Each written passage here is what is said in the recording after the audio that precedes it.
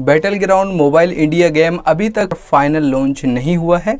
तो इस वीडियो में आपको बताऊँगा कि आप इसे कैसे डाउनलोड कर सकते हैं अपने फ़ोन में। बहुत ही आसान प्रोसेस है। आप आसानी से अपने फ़ोन में इसे डाउनलोड कर कर खेल सकते हैं। तो सबसे पहले आपको बैटल ग्राउंड मोबाइल इंडिया का ए डाउनलोड करना है, जो कि आपको डिस्क्रिप्शन में लिंक मिल जाएगा। आप आसानी से डाउनलोड कर सकते हैं।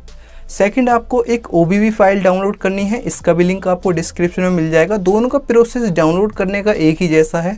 ए को डाउनलोड करने के बाद तुरंत आपको इसे इंस्टॉल कर लेना है। जैसे ही आप अपने फ़ोन में Battle Ground Mobile India A को इंस्टॉल कर लेते हैं तो आपको इसे ओपन करना है। ओपन करने के बाद में आपको अपने फ़ोन की फ़ाइल को ओपन करना है। और आपको इंटरनल स्टोरेज में जाना है अपने फ़ोन की और वहाँ पर आपको एंड्रॉयड का ऑप्शन दिखेगा और इसके बाद आपको ओ फोल्डर को ओपन करना है और इसके बाद आपको कॉम डॉट पबजी मोबाइल ऐसे कुछ एक फ़ोल्डर दिखेगा, इसे आपको ओपन करना है और इसमें आपको जो आपने ओ फ़ाइल डाउनलोड की थी, उसे कॉपी कर कर इस फोल्डर में पेस्ट करना होगा। इसके बाद आपको बैटल ग्राउंड मोबाइल इंडिया को ओपन करना है, इसके बाद कुछ परमिशन मांगेगा आपसे तो इसके बाद बैटल ग्राउंड मोबाइल इंडिया आप आसानी से खेल सकते हैं।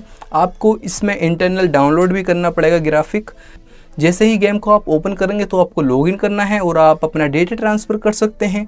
अगर आपको डेटा ट्रांसफ़र करना है तो इसके बारे में मैंने वीडियो बना रखी है, लिंक आपको डिस्क्रिप्शन में मिल जाएगा। आप अपनी पबजी ग्लोबल आईडी का data Battle Ground Mobile India में आसानी से ट्रांसफ़र कर सकते हैं। लिंक आपको डिस्क्रिप्शन में मिल जाएगा वीडियो का। तो इस तरीके से आप अपने फ़ोन में आसानी से Battle Ground Mobile India download कर कर खेल सकते हैं। अगर आपको कुछ प्रॉब्लम आती है तो आप कमेंट ज़रूर करना। मैं आपके कमेंट का रिप्लाई करने की पूरी कोशिश करूँगा। तो मिलते हैं नेक्स्ट वीडियो में. Thanks for watching